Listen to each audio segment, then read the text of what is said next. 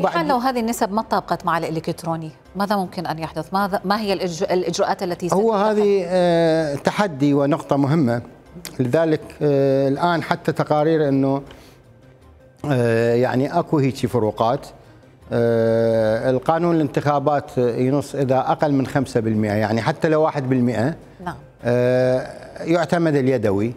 نعم وإذا كانت أعلى وإذا النسبة كانت أعلى من 5% آه، تذهب الصناديق إلى مراكز التدقيق في المحافظات. نعم. كل محافظة بها مركز تدقيق. وأيضا يجرى العد والفرز يدويا ويعتمد هذا اليدوي.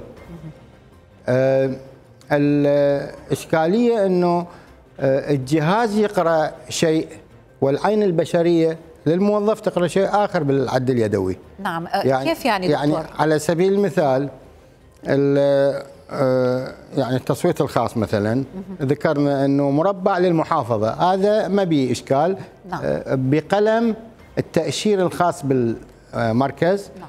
آه، بس خلف الكابينة يذهب الناخب لوحده. ويجب عليه أن يؤشر إما للحزب والتحالف السياسي أو المرشح الفردي يأشر ويكون مقبول ال- التأشيرة مالته نعم. أو ي- يأشر إلى الحزب ومرشح واحد وبالتالي إذا هو وضع مثلا ال- القلم على حافة المربع فالجهاز ما راح يقرأه كيف إذا التعامل بهذه الحالة؟ منو راح يقرأه؟